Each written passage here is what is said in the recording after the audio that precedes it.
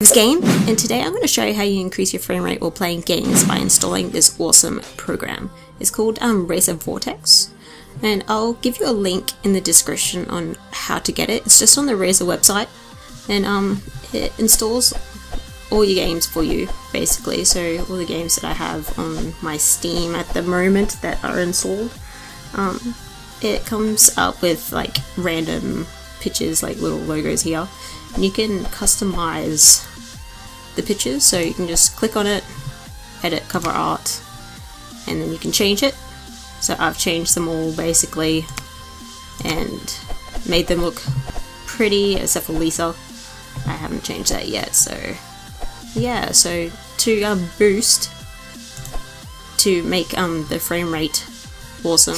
Okay first of all it'll be on recommended so you can go for that, but I want it a bit customized because I do want programs open still when I am doing it. So usually you can go recommended and it will have most of the programs for you um, that you don't want on it. But I've gone custom and I've gotten rid of most of the ones that you don't want. I want to keep my action running because that's what I record with.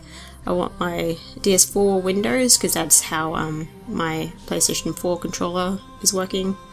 Um, I don't need that, don't need that. I want to keep my NVIDIA GeForce experience on, and I do not need my um, my Wacom tablet um, driver on when I'm playing, so uh, I could take that off. Then you can go into services, and you can pretty much keep this the same as it is on the recommended. This is what it is, but um, they take off the hot buttons and stuff, so that is good. You, you definitely need that for recording.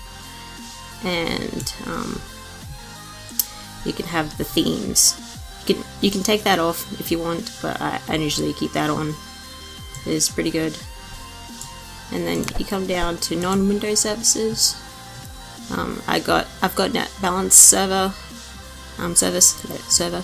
Um, I I click that because I don't need that running while I am playing, and I've kept these two on because might as well keep the Steam client service on. I, probably need that. Now go to others, and um, these are just random sort of stuff. Clean RAM, probably need that. Clear clipboard, yep. Enable game power solutions change settings to high performance. Yeah, yeah, need that.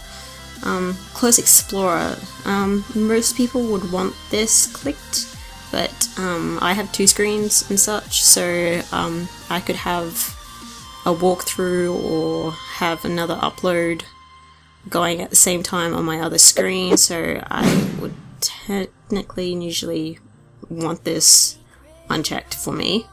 So it's up to you guys. Um, turn off automatic updates, yes.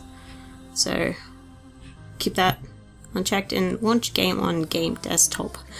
I'm not exactly sure what fuck that means, but I, have kept that unchecked because I, I don't really care for that one. So um, you could switch the the shortcut to something more um, easier for you so I've just made it so boost, Alt B, and then normal, Alt N. So that's, that's pretty easy for me. Alright, dinos. Alright, so you want to analyze. So this is the first time you've um, installed it. So you just want to analyze your system, so it's just checking it to see if there's any problems and whatnot. Alright, so it's analyzed it, and it should have detected all the problems and such and um, at the moment I have none and then you can either copy it, paste it to websites telling you because you have all your systems stuff in here. I have a, a bit of an older um, i7 um, CPU. I, I, need to update that definitely, and I need to update my motherboard. It's, they're a bit old and um, are lacking in my. I'm not getting my full potential in my GeForce um, 980 graphics card, but yeah, so then you can go to tweak and because um, I have already tweaked my stuff because in the recommended there will be what is wrong with your your um, your computer basically. So basically it will be this stuff usually. So you can just go recommended and then optimize and it will get rid of all the um all the bad stuff basically and it'll be pretty awesome. So I've already done that because I can undo all my Razer Cortex tweaks which I, I don't want to do. I don't want to screw it up at the moment. And um, you can defrag your um, your game files but only on um, normal hard drives. You can't do it on solid state drives, unfortunately, because I have most of my stuff on solid state drives. I found that out because I can't do my Dark Souls 2. So yeah, and then we can do frames per second. I have that on, I have that displayed on my top left, and I have it as my Alt F.